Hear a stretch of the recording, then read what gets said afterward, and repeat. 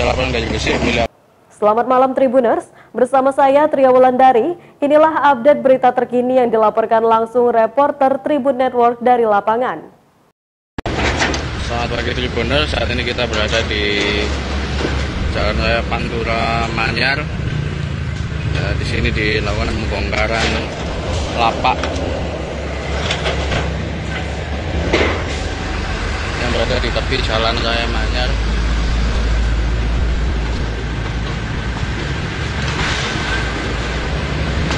Ini seperti ini. Pembongkaran lapaknya terus. Satu mesin alat berat eh, melakukan pembongkaran.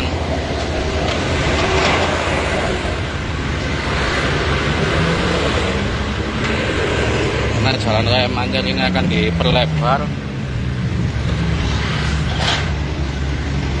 Ada petugas dari Pol TNI Polri Satpol PP Dinas Perhubungan membantu jalannya pembongkaran jalan raya Manyar ini